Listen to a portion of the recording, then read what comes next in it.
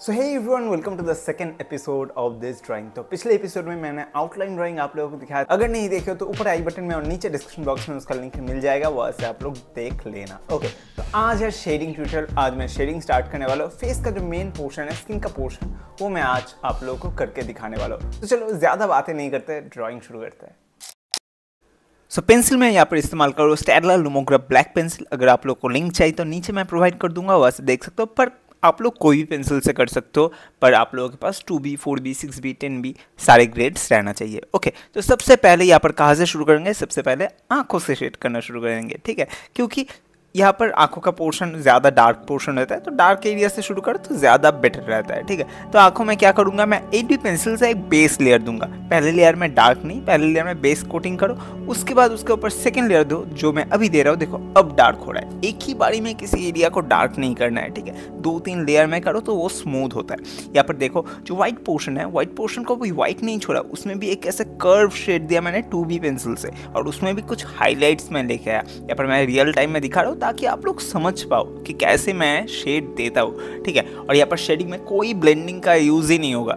Without blending अगर shade करते हो ना तो शेड में एक टेक्सचर रहता है, एक आर्टिस्टिक फील आता है। वरना बहुत ही फेडेड एकदम फ्लैट दिखता है फ़ोटो की तरह दिखता है। तो फ़ोटो की तरह फीका क्यों ड्रॉ करना है? आप ड्राइंग कर रहे हो आर्ट बना रहे हो तो आर्ट को एक आर्टिस्टिक टोन लाओ ना आर्टिस्टिक स्टाइल लाओ उसमें, ठीक है? तो मैं यहाँ पर वही करता हूँ। तो यहाँ पर बाकी एरिया में एट बी और जो व्हाइट पोर्शन होता है आँख का, उसमें टू बी से मैंने टोन दिया। एकदम सफ़ेद नहीं छोड़ा, ये ध्यान दो। सफ़ेद छोड़ता तो यहाँ पर हाईलाइट कैसे दिखाता राइट तो ऐसे मैं जो दूसरा आँख है, उसमें भी कर रहा हूँ। पहले एट बी से फ़र्स्ट लेयर उसके बाद सेकेंड लेयर में उसको डार्क कर दिया। कुछ कुछ एरियाज़ को हाईलाइट छोड़ा। हाईलाइट छोड़ना है तो उसे ऐसे छोड़ दो। इरेज करके मत निकालो। इरेज से शार्पनेस नहीं आता, ठीक है? तो ज़्यादातर ऐसे कोशिश करो कि उसे छोड़ के ही करने को ठीक है? अब स्किन का पोर्शन जो है स्किन के पोर्शन में मैं फोर बी पेंसिल से इस्तेमाल कर रहा हूँ, क्योंकि ये जो पोर्शन है ना, आँखों के ऊपर का पोर्शन थोड़ा ऐसे डार्क टोन में है, ठीक है? तो यहाँ पर आप लोग फोर बी पेंसिल से तो एंगल को फोकस करो, कहाँ पर मैं किस एंगल में शेड दे रहा हूँ? और शेड जितना आप लोग घना दोगे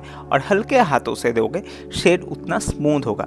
प्रेशर अप्लाई करोगे तो स्मूथ नहीं होता है शेडिंग आप लोग हल्के हाथों से दो दो तीन लेयर में दो तो शेड स्मूथ हो जाता है, ठीक है?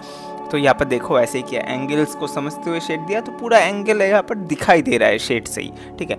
आप लोग किसी भी चीज़ में उसका जो एंगल है, उसको अगर मैच करके शेड दोगे ना तो वो और भी ज़्यादा रियलिस्टिक लगता है, ठीक है? ये आप लोग को ध्यान में देना है। तो एंगल को फॉलो करना है यहाँ पर नीचे के पोर्शन में भी वही किया और हाईलाइट्स जो है हाईलाइट बहुत ही इंपॉर्टेंट होता है। हाईलाइट्स को छोड़ना बहुत ही ज़रूरी है। तो यहाँ पर भी मैं वही कर रहा हूँ हाईलाइट्स को छोड़ा है बहुत सारे जगहों पर, ठीक है? तो जो आँखों का पोर्शन है वो कंप्लीट है। अब यहाँ पर आईब्रोज में मैं देखो क्या करो एट बी से पहले एक बेस लेयर दे दिया। नीच का जो व्हाइट टोन था, उसे ऐसे भर दिया, ठीक है? या फिर आँखों के ऊपर के पोर्शन में भी एंगल को देखो, वैसे फोर बी से थोड़ा एंगल को समझा कर फ्लैट टोनिंग से भर दिया। ये है फ़र्स्ट लेयर फ़र्स्ट लेयर होने के बाद सेकेंड लेयर में इसके ऊपर डिटेलिंग करूँगा। जैसे कि नाक में देखो, नाक का जो ये साइड का राइट साइड का एंगल है, उसे मैंने समझा है बेस एकदम फ्लैट टोनिंग से। यहाँ पर पहले ही आप लोग डिटेलिंग में नहीं घुसना है। पहले आप लोगों को उसका जो टोन है, उस एरिया का जो शेडो है या फिर लाइटनेस है मिड टोन है, वो आप लोगों को समझाना है। उसके बाद उसमें जो डिटेलिंग है, वो ढूंढना है। तो यहाँ पर देखो बेस टोनिंग कर दिया है। अब फेस के एरिया में भी थोड़ा बेस टोनिंग करेंगे। एकदम जो राइट पोर्शन है फेस का, उसका देखो एंगल इस तरीके से है। और ऊपर फोरहेड का पोर्शन में एकदम फ्लैट हॉरिजेंटल शेड है। तो वो एंगल का फोकस करते हुए जो थोड़ा डार्कर एरियाज़ है, उसमें मैंने फोर भी दिया। पहले डार्क एरियाज़ को कर लिया। अब धीरे धीरे लाइटर पोर्शन की तरफ़ जाऊँगा। लाइटर पोर्शन में बाद में टू बी से करूँगा, ठीक है? पहले डार्क एरियाज़ को कॉम्पेरेटिवली जो मिड टोन्स है शेडो एरियाज़ है, उसमें पहले लेयर पहले शेड दो। फिर धीरे धीरे लाइटर टोन की तरफ़ आओ। इससे ग्रेडियंट अच्छा बनता है, ठीक है? देखो, मैं वैसे ही करो। देखो, कितना हल्के से, कितना धीमे चाल में, धीमे, धीरे धीरे मैं शेड देता हूँ। यहाँ पर मैंने थोड़ा रियल टाइम में आप लोगों को दिखा दिया। अब देखो, अब जो कॉम्पेटिवली लाइटर एरिया है फेस में, उसमें मैं शेड दे रहा हूँ। कौन से पेंसिल्स है? टू बी या फिर एच बी ठीक है, ये आप लोगों को समझ लेना है। हाथ का प्रेशर अगर ज़्यादा गिर रहा है तो आप लोग थोड़ा हल्का पेंसिल यूज़ करो। मैं एक दो ही प्रेशर नहीं देता तो उससे टू बी से भी हो जाता है, ठीक है? तो आप लोगों को ये ध्यान में देना है, जो शेड है ना, वो बहुत ही घना देना चाहिए। ऐसे एक एक शेड एक एक स्ट्रोक के बीच में अगर गैप रहेगा तो अच्छा नहीं दिखता। जितना घना दोगे, उतना अपना ड्राइंग स्मूथ दिखता है, ठीक है? ये ध्यान में देना। देखो कैसे कर रहा हूँ।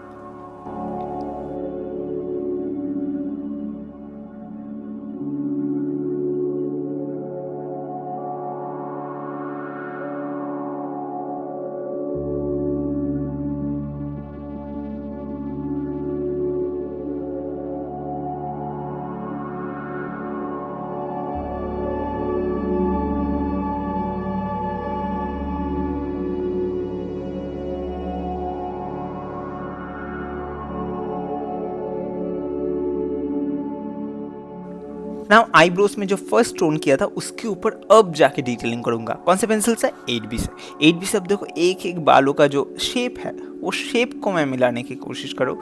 शेप को मिलाकर यहाँ पर दूँगा, ठीक है? ये समझने की कोशिश करो। शेप्स में कॉन्सेंट्रेट करो। आप लोग बाल है तो एक एक करके कर रहे हो। नहीं, उससे अगर कोई एक शेप बन रहा है तो वो शेप को लाने की कोशिश करो। ये ज़्यादा रियलिस्टिक लगता है, ज़्यादा एक्चुअल में मिलता है। यहाँ पर स्किन में भी मैं अभी थोड़ा डिटेलिंग दे रहा हूँ फ़ूड भी पेंसिल से, ठीक है?